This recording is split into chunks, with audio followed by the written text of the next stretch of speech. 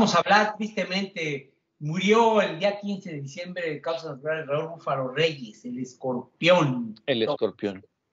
Hay mucha confusión acerca de quién era Raúl Reyes, el escorpión, en páginas extranjeras, mexicanas, en videos de Bibis. Vamos a decirlo, yo ya había hecho una entrevista, tuve la fortuna de entrevistar a este señor Raúl, el Búfalo Reyes, el escorpión segundo. ¿Sí? A él lo confunden con Raúl Reyes, el papá de Impacto. Infinidad de arenitas. El, el zar de las. El zar, le decían el zar de la, de la periferia, me parece, algo así. Porque Sí. Tuvo muchas arenas. Raúl Reyes, Raúl Reyes, el Moritas. ah, el Morita Reyes, el que falleció, Raúl el Búfalo Reyes. Él, él era originario de Tacubaya. Sí, él dice que se inspiró viendo las luchas. Él nació en el 37. Curiosamente había, había nacido el 12 de diciembre, pocos días acababa de, cumplir años. Él se inspiró viendo las luchas por televisión y que eso fue lo que le atrajo.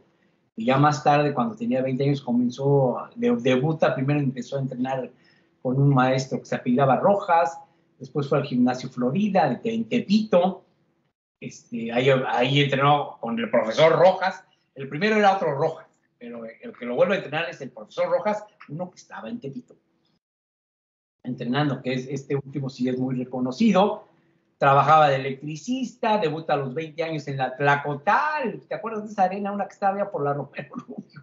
Allá en la Tlacotal, y finalmente como Búfalo Reyes. Él se hizo muy amigo de Gerardo Tapia, quien, quien le, lo empieza a pulir, Gerardo lo termina de pulir, Gerardo Tapia, nada más que el espectro segundo. Y ahí en el andar conoce a Benny Romero allá en León, Guanajuato, y empiezan a hacer una pareja y curiosamente en, eh, entran a la empresa mexicana de lucha libre y ahí les sugieren que se enmascaren.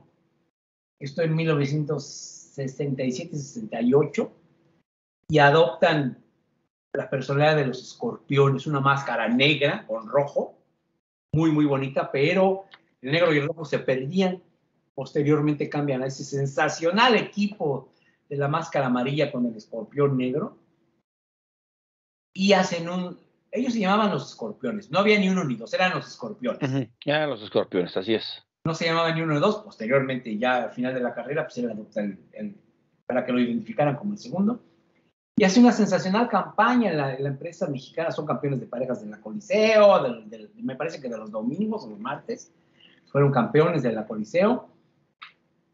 Finalmente, eh, él tuvo la gran visión, ojo señores novatos, si él pudo en esa época hacer esto, porque ustedes no ahora lo pueden hacer? ¿Qué?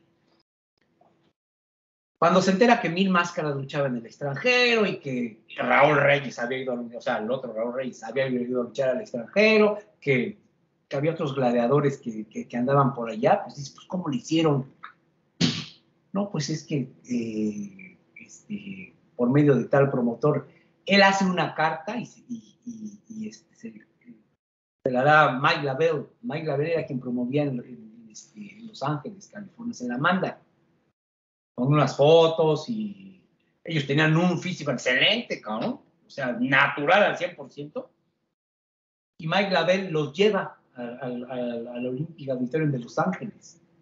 Ahí, ahí pues, son la sensación y de inmediatamente ahí, como a todos los mexicanos de aquella época, les surgen ofertas, pero muchos no las tomaban porque extrañaban la, extrañaban la Sí, la patria, sí. Sí, de verdad, eso es, eso no es- Sí, eso es, eso es verídico, sí, verífico.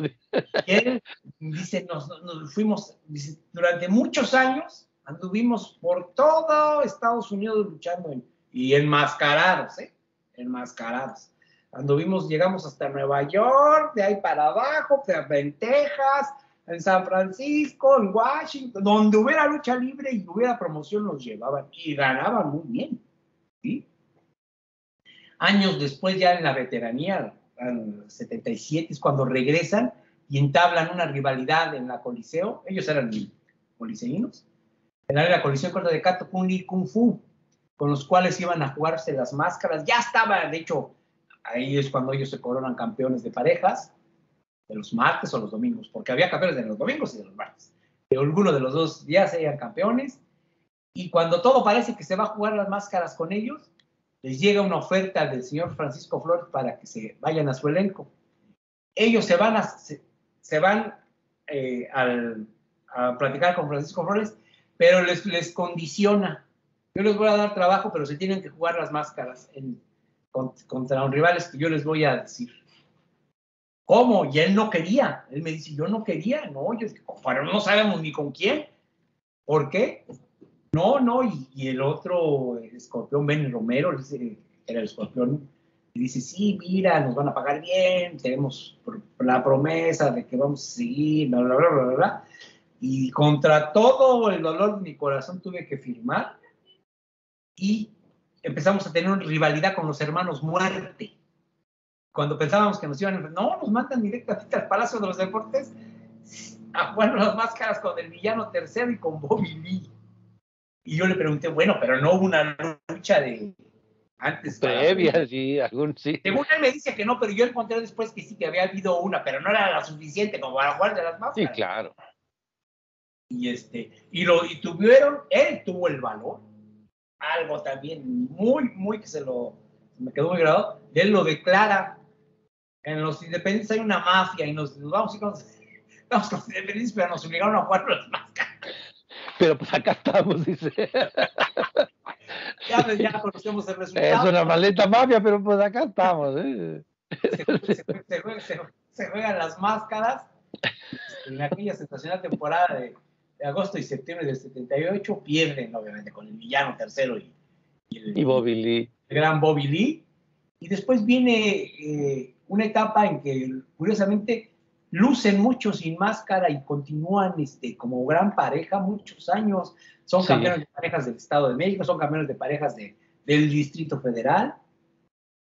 Este, andan aquí luchando aquí y allá en, este, en la Naucalpan, lucharon en el toreo, ya sin máscaras ocasionalmente, ¿verdad? Y después se deshace la pareja y él se vuelve a enmascarar como uno de los Caronte. O del Caronte es el Caronte cuarto. También utilizó por ahí otros dos personajes y, cuando vio que había muchos Carontes, le agradeció porque él era compadre de, Caronte, el papá de Místico. Y le agradece que le dicen, pues que no, que gracias, que ya son muchos. Era, el cuarto y hubo un quinto, en ese, hablando de los ochentas, yo ocupo por ahí otros dos personajes y pues lamentablemente fallece. Yo tuve la oportunidad de conocerlo y lo, lo dije en Twitter y lo voy a mencionar aquí. Una persona muy educada, muy propia, algo muy poco común. Muy, muy extraño ver este tipo de personalidades dentro del... por ejemplo, eso que te digo de los independientes, no decían, ah, esos cabrón, no, no.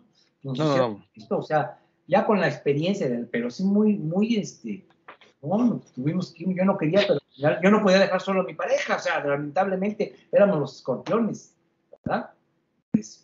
pero o sea, muy, muy propio, muy, muy, muy propio.